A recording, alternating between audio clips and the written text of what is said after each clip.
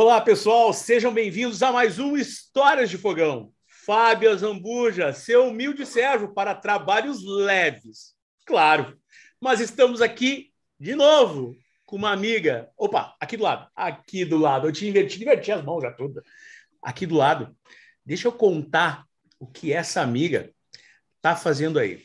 Lembra que eu falei? Aliás, que vocês viram o outro programa e eu estive conversando com a Jess casualmente é Jesse Triques. E aí eu falei no final da Tati, a Tati Triqueço, porque nós temos muitas novidades este ano. E uma delas é estar com histórias de fogão pelo mundo. Histórias de fogão trip e histórias de fogão em casa. A Tati vai fazer o história de fogão trip e o em casa. É, ela vai estar mostrando da Suíça muita coisa legal muitas receitas e muita coisa bacana. E além disso, ela vai estar fazendo história de fogão em casa, também na Suíça, com as receitas e as delícias da Tati. Tati Triquez, meu anjo, fala aí. Olá, o que, que você faz aí, menina? Bom? Então, Fabinho, que bom estar aqui de novo nesta nova temporada. Nona temporada, estamos ficando velhos, né, temporada. Tati? Não, hum, jamais velhos, experientes. Amiga, tu não envelhece. Agora eu, não. o tempo não é generoso comigo, viu? Não é generoso. Mas nós somos como vinho, Fábio. Quanto mais velhos, melhor ficamos. Melhor, mais saborosos ficamos. Delícia. Tati, eu, eu, eu, eu vou aproveitar. O, o Silas vai se enquadrar numa janelinha pequena aqui, uma passagem rapidinha de um programa que a Tati participou comigo há muito tempo é. atrás, eu acho que há uns quatro anos ou mais, mais até de quatro anos, uh, que ela participou do Histórias de Fogão, fazendo uma comida bem legal conosco. A é Tati tem uma aptidão muito grande, ela ama cozinhar, ama de verdade. E o amar cozinhar não é só cozinhar, é um pratar também. Ela faz pratos, cara, lindos, além de gostosos. E Tati, tá cozinhando hum. muito por aí? Sim, eu tenho cozinhado algumas coisas boas, assim, diferentes. O Gabriel não me deixa muito tempo para postar as coisas, mas... Aliás, que o Gabriel é o anjo Gabriel, literalmente, é o filhinho da Tati. Lindo esse é. menino, é um maravilhoso, é aquela fofura, fofura. Querido meu filho, tu imagina se ele ia ser feio? Não, eu né? imaginava, né? imaginava exatamente isso. E, e Tudo detalhe, bem que ele é a né? cara do pai, mas a personalidade cara, da maravilha da mãe. Não precisa de DNA nunca. Não. Até porque, cara, é a cara do pai. O Jimmy Balia bateu, é dele. Muito legal, muito legal. Então, Tati, falando do Deus Gabriel, é um queridão esse menino. É um queridão. É um terrível, né? é, puxou a mamãe, né? Puxou a mamãe, né? Pois, hiperativo, mega ativo, ligado direto na alta tensão, como a mãe. que maldade, que maldade. Ele é a é cara do pai, mas o resto é todo a mãe é dele. É todo da mamãe. A mamãe é uma pessoa Chega... calma. Eu tenho pena de mim. Ai, Gabriel, querido. Tati, então, tu não tá tendo tempo muito para cozinhar, claro, que a vida de mãe não é fácil. A gente é. bastante disso. Uh, mas me diz uma coisa: como está sendo hum. cozinhar aí, na Suíça? Assim, é bom porque nós temos acesso a produtos diferenciados, né? Importados, é. como tu sabe, a Itália é aqui encostada, uhum. a Europa em si se torna pequena. Então, uhum. nós temos nos mercados aqui uma quantidade grande de produtos importados de toda a Europa, inclusive do Brasil, Argentina, uhum. Estados Unidos. Então, nós temos acesso a esses produtos com preço razoável. Legal, legal. É. E o produto principal em termos de alimento aí, o que seria carne, peixe, massa? O típico da Suíça? Uhum. Queijos e laticínios queijos e laticínios. E laticínios, claro. Porque assim, a bom, a Suíça, ela tem como comida típica nacional raclette, fondue e o rosti. Hum. Então, a raclette, ela é um tipo de queijo específico, onde ela é grelhada em cima e colocada sobre uh, batatas, uh, cornichon, é, pepino, hum. cebolinha branca e algum outro legume uh, que dá do teu gosto, né? Pimentinha certo. biquinho, do que tu tenha vontade. Legal. Uh, a fondue é de queijo básico, ah. né? Existem outras uh, outros tipos também, com tomate, com certo. tartufo. Uh, existe também a possibilidade do fondue chinois, que é o chinês aqui, certo. que é feito um caldo com legumes, uhum. Tá. onde esse caldo fica borbulhando e tu coloca a carne cozinhar dentro de, desse caldo e come a carne. Nossa! E tem o fondue de carne, que aí ah. é frito, né? Fritinha, carninha no, no óleo quente ali. No, no, formato do nosso aqui? Não, não. Ele é no richozinho como o fondue de queijo. Tá. Uh, na verdade, nós no Brasil adaptamos a fondue uhum. para tudo aquilo que a gente come, porque se apresentar uma fondue como a gente recebe aqui, tá. o povo no Brasil enlouquece, né? No sul, na verdade, enlouquece, porque nós somos habituados a comer muito. Certo. E com muita abundância. Aqui, uhum. a fondue de queijo, ela é tá. pão. Quando muito batata. E certo. Uhum. Uhum. E deu. A fondue de carne é carne. E acabou. Uhum. Eles não, não têm fondue de Não tem todo aquele aparato tipo que assim. tem ali. Não, não, não, não. Eles têm a fondue de chocolate, mas também não é aquela coisa ah, nacional. Não. Certo, certo. Sabe que, ainda... sabe que nós, nós conversamos fora, fora, fora das câmeras, já fora do ar, e eu acho que cabe muito a gente fazer aquela comparação, fazer aquele programa casado, de você mostrando o fundido aí, e eu buscar aqui um lugar tradicional de fundir mostrar como é feito fundir aqui e tu mostrar aí. Eu acho que ah, vai ótimo. dar para ver bastante essa diferença. Uh, porque realmente é diferente. Muito. Sem é contar a qualidade, diferente. né? É que, na verdade, a qualidade do queijo suíço, ela é impressionante, porque, assim, a Suíça, ela se detém muito ao cuidado com as vacas, uhum. por causa do leite, para a uhum. produção de queijo, o próprio leite, o governo controla, inclusive, o preço do leite. Nossa, que bacana, Não aumenta, hein? justamente ele auxilia o produtor uhum. para que mantenha o preço para o restante da população. Certo. E eles investem muito no queijo, uhum. uh, justamente porque vem toda a parte de laticínios, então queijo, leite, manteiga. Entendo. Essa parte aqui é muito boa. Tu sabe que, que, que até falando, falando nisso, há, há muito tempo atrás, muito tempo atrás mesmo, Uh, um, um, colega do meu pai, um amigo do meu pai, teve, teve a passeio na Suíça, até eu acho que tinha familiares aí, eu não recordo muito. Uh, e agora, falando isso, ele me falou realmente sobre qualidade de lei, sobre controle, sobre muitos outros benefícios de controle em questão do governo, em, em, em cuidados com a comunidade, né? com, com questão social e tudo, né?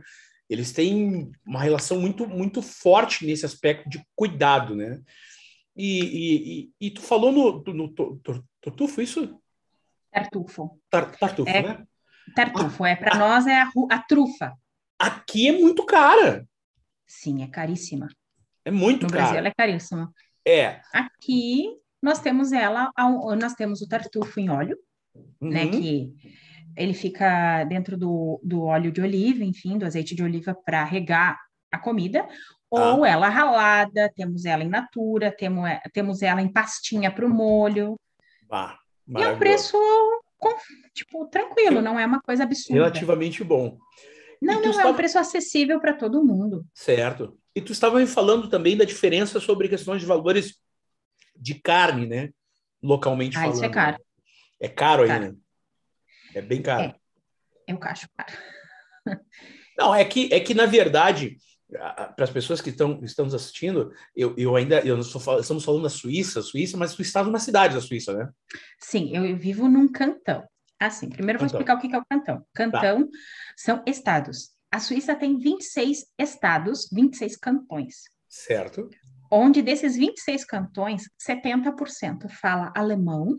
Certo. 20% fala francês, 7% uhum. fala italiano e 3% fala romântica. É uma mistura de todos eles junto misturado, que é Nossa. mais fica tudo perto dos Alpes, é mais certo alto negócio. Uhum. Uh, então, eu vivo num cantão francês. Eu vivo no Valais, que é um cantão hum. francês. Eu fico, eu resido a, a duas horas de Genebra. Certo. Duas horas e meia de Milão. Certo. Enquanto a gente está falando, o Silas possivelmente já vai procurar imagens e vai colocar algumas imagens para o pessoal já ter noção e conhecer de onde você está falando. Ah, tá. Eu e vivo aí, em Sierre. Sierre. Sierre é, é S-I-E-R-R-E.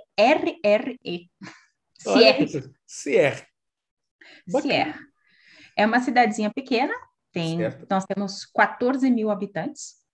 Nossa, pequena mesmo. Estamos, hein? é pequenininha, estamos acostumados a viver numa cidade de 700 mil, como Caxias do Sul, né? É. A gente vem para onde? Para uma cidadezinha de 14 mil. é. Diferença. A, estamos a 533 metros de altitude do nível do mar, né? Bah, bastante. Bastante. É razoável. Mas eu vivo num vale.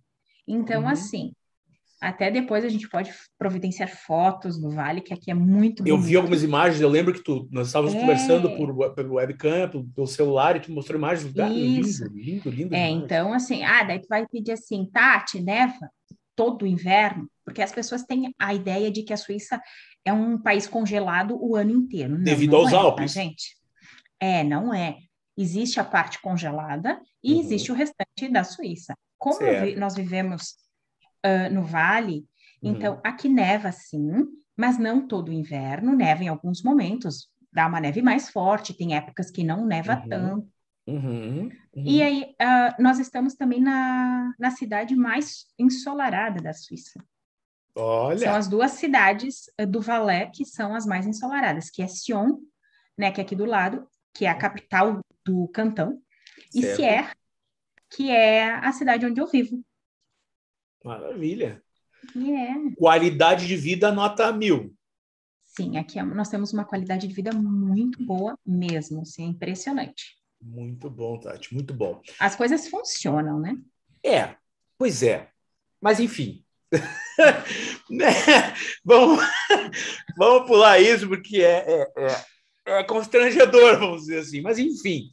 Não, mas eu é tenho certeza, pessoas... eu tenho certeza é que, de uma as coisa. As pessoas às vezes se iludem, tá? Claro. As pessoas se iludem, claro. acreditar e apedrejar o Brasil achando que é. tudo é ruim. Não Nós é. temos gente. maravilhas. Eu já vivi em Portugal, eu vivi É aqui, trabalho muito com a Itália, então assim, eu tenho outras realidades e o Brasil é um país maravilhoso. Nós temos algumas pequenas questões, sim, Uhum. hoje econômicas, de segurança.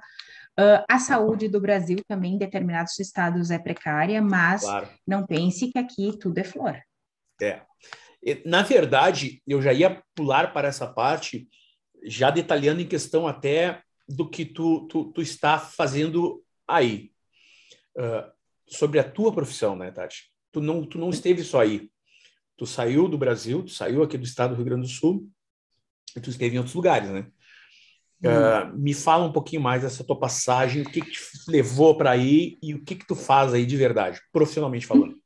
Então, assim, o que me trouxe para a Suíça, porque assim, o Jimmy nasceu na Suíça, né? Certo. Então, ele nasceu, ele foi para o Brasil, ele tinha 14 o Jimmy, anos. teu, teu, teu esposo. Meu, meu marido. Aqui, isso. teu marido. Isso. Ele foi para o Brasil, ele tinha 14 anos, viveu no Brasil 20 e tal anos. Certo. E quando nós nos conhecemos, eu já tinha ideia de vir embora para Certo. a Itália. Uhum.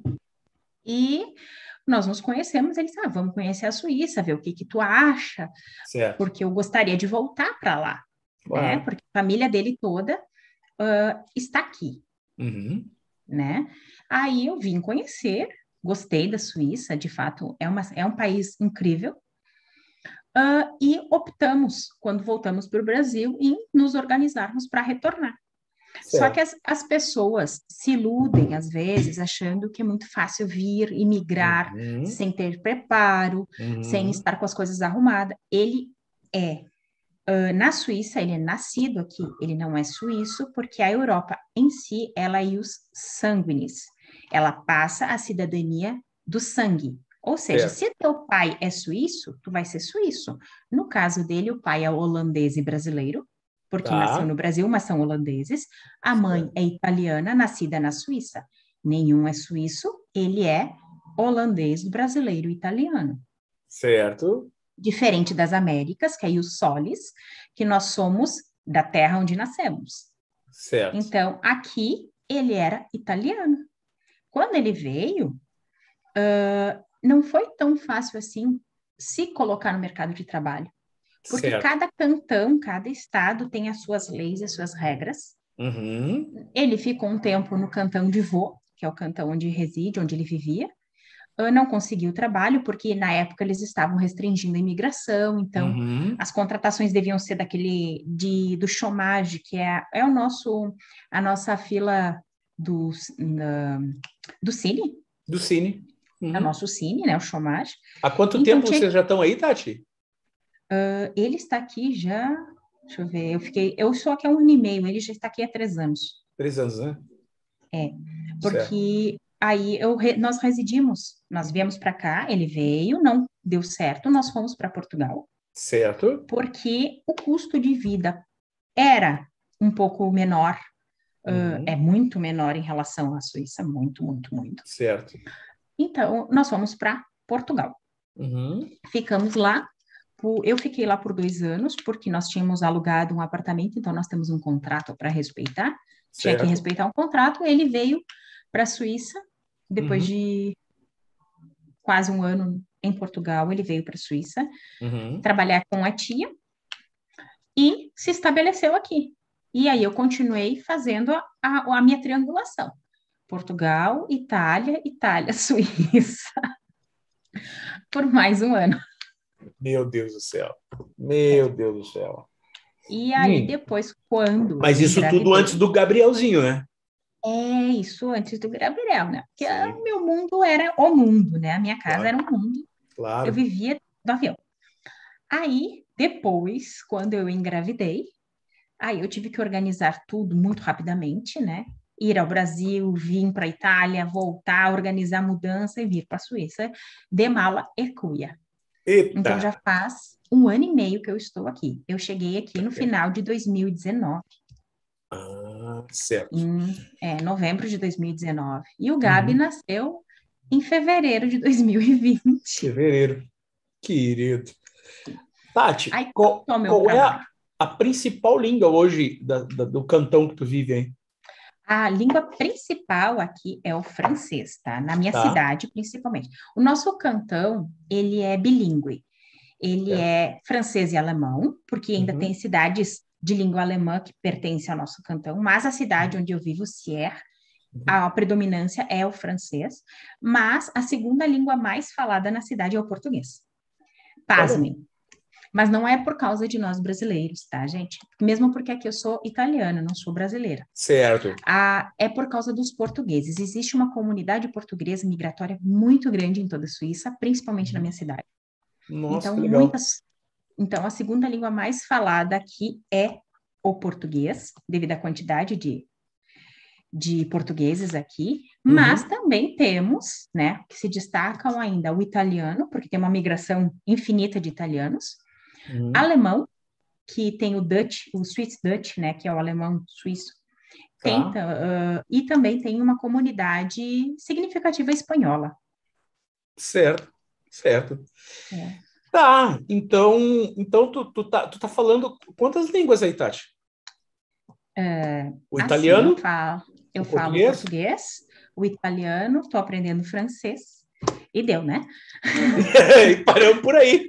É, não, o espanhol eu falo também, mas ele tá um pouquinho enferrujado, coitadinho. O meu espanhol Não, não, não, claro. Ele é, tá, ele tá, tá utilizando mais o português e o francês aí, né? Uh, na verdade, eu utilizo muito o italiano. Italiano porque tu te comunica bem. O, por... é, o português, uh, por causa da comunidade, enfim. Eu procuro me comunicar no francês, né? Sim, no, sim, sim, Aquilo que eu consigo. Legal. Quando eu não consigo, eu pergunto se a pessoa fala italiano ou português. Quando ela não fala nenhuma, a gente vai na mímica, porque na mímica a gente se resolve também. Olha, né? conhecendo a Tati como eu conheço, sem se comunicar, ela não fica. Eu tenho certeza não, disso. A gente dá jeito. Tati, Fala um pouquinho agora sobre o teu negócio. O que, que você está fazendo aí, profissionalmente falando? Eu sigo trabalhando com cidadania italiana, né? Muito é, só bem. que não estou na Itália, mas bem pertinho dela. Então, eu sigo trabalhando uh, com cidadania aqui. Eu tenho meu uhum. escritório em Caxias, que a uhum. Cris, a minha nossa outra irmã, trabalha comigo em Caxias. Certo. Ela cuida da parte documental dos cartórios do Brasil e eu cuido uhum. E auxilia nas pesquisas e eu auxilio nas pesquisas a parte de captação de clientes e a certo. parte pesquisas Itália, né? E aí nós estamos passando agora na, na, na Dever aí as informações, as redes sociais e tudo da é, Triquês Consultoria, né? Triquês Consultoria, isso. Da Triquês Consultoria. E vocês podem fazer contato ou com a Cris ou com a Tati na Suíça ou com a Cris em Caxias do Sul, para quem estiver isso. assistindo pelo YouTube, em qualquer parte do mundo, vocês podem fazer contato com a Tati ou com a Cris, que ela vai ter o prazer em ajudar vocês, porque é muito, é muito importante esse processo da cidadania. Por que é importante? É aquilo que nós estamos conversando agora mesmo, por pessoas existir muita informação é, e, e, muita coisa que ah, é fácil, vem aqui, pega tantos dólares ou tantos euros, vai para a Europa, vai para os Estados Unidos e, e, vive lá e consegue green card, consegue uma... e as coisas não são bem assim. É. Não é bem desta forma. E para isso, uma profissional como a Tati, uh, pessoas que fazem esse tipo de trabalho, que, cara, é muita pesquisa, é muita história. Eu, eu, eu, eu conheci a Tati, eu vou fazer o, o gancho uma pessoa extremamente apaixonada pela Itália, não só por ser de origem italiana, apaixonada pela história da Itália. Aquela coisa de ir arrepiar, de correr no sangue. Uhum. Até ela me falou sobre um parente italiano, agora me veio à cabeça, e sobre um chapéu que ela ah, ganhou sim. de presente. Conta um pouquinho rapidamente essa história, Tati. Então, o chapéu eu ganhei do nosso do primo Albino, que ele é, na verdade, assim, eu chamo ele de primo, mas eu fui promovida a irmã mais nova, né? Eita! Só que assim, no, o nosso parentesco começa lá no meados de 1700. Bem pertinho. Coisa. Não é? Isso tudo não. a Tati pesquisa, todo esse levantamento, é. amiga. Então, se você tiver alguma coisa para esconder, não vai esconder nada. Ela vai descobrir. Pois. Então, o que, que acontece? Uh, lá para 1700, o trisavô do meu trisavô é parente do dele, são irmãos, e a gente vem seguindo na árvore até os dias de hoje. Certo, muito bom. Como ele sabe deste meu amor inenarrável pela Itália, essa paixão descontrolada pela nossa história, origens e tudo mais, as pesquisas familiares, uh, ele é militar, né? Hoje é aposentado, mas ele é militar. Ele mandou fazer para mim um chapéu oficial de festa Legal. dos Alpini. É, o, o Alpini é o exército de montanha, que é o exército, uh, os Alpini são o exército qual a minha família, até os dias de hoje, a família dele serviu. Então, o meu trisnono, quando serviu o exército, ele fazia parte do exército de montanha, que na Itália os Alpini são conhecidos nacionalmente, né? Todo mundo quer é mais ou menos os agulhas negras no Brasil. Todo Nossa, mundo quer fazer que parte. Massa. É bacana. Então, é, assim, é, uma coisa essa, maravilhosa. Essa, essa, história me marcou demais. Me marcou pela tua emoção de contar na época que é, tu estava no teu escritório, tu estava com teu chapéu, tu veio, mostrou e Sim. tudo. Eu disse, cara, é, é, é, é e aí e aí volta de novo a questão do trabalho, da profissão, do que é fazer algo com amor, né? O que é fazer algo com dedicação. Uh, a Tati, a Tati desse jeito comunicativo que ela é e agora uma das apresentadoras uhum. fazendo parte da família do História de Fogão, nossa irmã mais nova, vamos dizer assim também. uh, cara, é, é, é, muito legal este amor, o amor pela culinária, o amor pela profissão, o amor pela pesquisa e pela história, o amor pela, pela, pela Itália. Cara, é algo assim, cara, é, é, muito bacana, é muito bacana. E não podia ser uma pessoa com um coração menor e, e de comunicação como é para ser nossa uma irmã na Suíça. Trazer essa maravilha que vai ser do programa na Suíça. Eu tenho certeza que vai trazer muita coisa. Muita é, coisa a gente legal. vai estender tipo Suíça e Itália, porque quando eu tenho com que fazer certeza. pesquisa, a gente é o migra, mínimo né? que eu espero, né, amiga? É, é o mínimo. A gente é o mínimo que eu migra. Espero. É o mínimo que eu espero. É. E, e, e, me, fala, me fala ainda sobre essa questão da, da consultoria, tá? Eu sei que tem uma diferença, é importante porque as pessoas daqui um pouco podem entender. Vocês estão olhando um, um programa que nós estamos fazendo num determinado horário. Por exemplo, esse programa é um programa gravado. Ah, eu estou fazendo agora em torno de quatro horas, quatro e meia da tarde, e lá já são quase 10 horas da noite. Tem a diferença de fuso horário. Então, daqui a pouco, ó, manda uma mensagem, a, a Tati pode estar dormindo lá, diz, ah, não me respondeu, pô, a Zambuja falou, calma, gente. É a diferença de fuso horário e ela vai responder com certeza. Responde para todo mundo. Não, e eu respondo com todo amor e carinho, eu sou muito sempre. prestativa nisso. Sempre, muito gente, gentil. não se preocupem. Eu sei bem. E... Eu não estou falando é. da Tati, minha companheira de trabalho, estou falando da Tati como humana. Como vocês acompanharam no programa da Jess, que é outro ser humano incrível. Ah, ah, gente, é, é, é um carinho gigantesco. Então ele se estende para o que se faz, o que para tudo. Ela é detalhista, aquela coisa assim do, do, detalhe. Ela não vai deixar ninguém na mão. E se tiver uma, uma, uma, opção que não exista, ah, não, não tens como chegar ao ponto da cidadania italiana. Ela não vai economizar em falar. Ela vai dizer, gente, pesquisamos até aqui, até aqui foi, não foi, vai. Ela não tem enrolação. Ela não tem enrolação. É, Isso é muito. De fato, bom. é que não tem como, né, Fábio? Não tem claro. como, porque assim, eu como pessoa, eu me coloco na, na parte, no corpo do cliente, porque eu já fui cliente de mim mesma. Uhum. Né? Uhum. Tive ajuda nas minhas pesquisas? Tive, tive de um claro. parente querido, Vanildo. Sim, tu teve que pesquisar para fazer toda a tua ele pes... também? Na verdade, ele pesquisou tudo, porque ele tem cidadania há mais de 30 anos. Meu Deus. Então, é, ele pesquisou e me passou informações. Uhum. Aí eu fui buscar o restante, fui para a Itália, fiz toda a pesquisa. Legal. Então, o que, que acontece? Por uma questão ética profissional, eu me coloco no lugar do cliente. Uhum. Financeiramente, como pessoa, eu não gosto de enrolar o cliente. Ah, claro. podemos tentar? Não. Se existe, existe possibilidade sim, de forma idônea, correta e transparente. Ah, Tati, eu sei que tem gente que tira cidadania Itália em 15 dias, tem cidadania, não sei. Eu não faço. Não sou roleira, gente, não gosto uhum. disso, tenho pavor do jeitinho, uhum, uhum. porque é um investimento que a pessoa faz, é um sonho. Já começa assim, é o sonho de toda uma família. É investimento que a gente vida, né? ajuda né? a realizar. Uhum. Então, é um investimento financeiro, uhum. tempo pessoal. Uhum. Então, assim, as pessoas, elas, para não haver a frustração, porque assim, tu tá com o teu passaporte, tu tá realizou o teu sonho, e daqui a pouco o comune sofre uma investigação, foi uhum. feito um rolo e adivinha, perde a cidadania. Melhor então, não, né? Não, Melhor porque não. adivinha, né? É o advogado que vai Exatamente. levar a culpa. Claro, Exatamente. não que o cliente vai dizer assim, ah, eu quis. Não, ah, claro. tu fez. Então, eu, por ética, por profissionalismo, eu prefiro não. Dá, dá, não dá, não dá. Temos que fazer da forma correta para que amanhã depois a pessoa não tenha esse sonho virado num pesadelo. Né?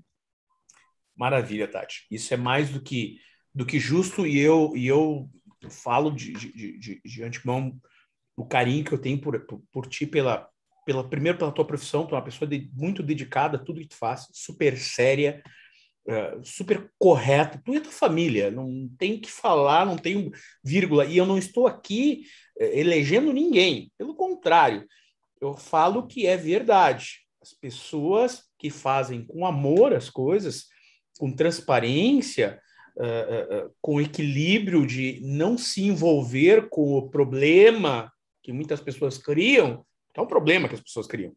Sim. Cada um com o seu problema. Isso faz uma diferença monstruosa. Que existisse mais humanos assim, né? Mais profissionais assim, seria bem importante.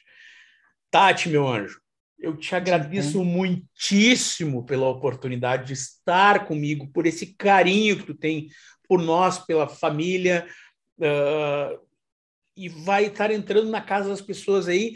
Eu tenho certeza que passando esse amor por tudo que tu faz, tu faz muito bem feito. Tu é uma pessoa de extremo caráter, e eu tenho absoluta certeza que esse programa vai ser magnífico. Você só vem a brilhantar cada vez mais. Esses nove anos não podia ser diferente. Uh, nós vamos entrar no, nessa nona temporada e o ano que vem, que já estamos aí em mês de setembro, vamos estar fazendo dez anos. E dez anos com pessoas que vão fazer toda a diferença. Não só em conteúdo, mas pessoas que, que amam o que fazem. Gente, essa foi a Tati Triques, irmã da Jessie. E ela é minha irmã. Uma, ela é tua irmã. E uma pessoa assim magnífica, que vai com esse sorriso aí brilhar muito na telinha de vocês, trazer muitas receitas, muitas novidades, muitas coisas legais diretamente da Suíça. E quando ela tiver a oportunidade de estar no Brasil, com certeza nos encontraremos e vamos Também. gravar esse encontro e vamos dar muita risada junto. Porque já fizemos muito isso, né, Tati? Bom, e é coisa muito boa. Tati Triqueiro Eu é que agradeço todo esse amor, todo esse carinho, sabe, da minha admiração por ti, pela tua família, pelo teu programa que eu adoro, né? Muito e bom. é um prazer grandíssimo mesmo poder fazer parte dessa Legal. história. Muito obrigada a todos. E espero, no decorrer desse ano, trazer muitas novidades. Já estou preparando várias novidades. Eu, eu sei, eu sei que vai vir, vai vir muita coisa legal aí. Eu já sei já. Ah, Aliás, que é. já vou deixar minha encomenda para o dia que ocorrer nosso encontro daquele chocolate suíço, né? Básico, né? Esse aí é básico, né? Básico, Vamos combinar amiga. que esse é, esse é básico. Básico do básico. Tati Triquez, meu anjo, fique bem com o nosso carinho, carinho de todos os nossos espectadores que estão aí no canal do YouTube, no Facebook, ou no Instagram, ou no nosso site historiasdefogão.com.br. Você pode acompanhar muitas novidades e mais. Em breve, mais novidades ainda. Está vindo uma loja virtual. Eita, coisa bem boa. fica ligado. Isso e muito mais. Tati, beijo, beijo grande. Beijo pro Anjo Gabriel e beijo pro um Jimmy. Beijo. adoro você esse grandão. Tá louco, da mesma forma. Beijo, gente. Valeu. Tchau, tchau.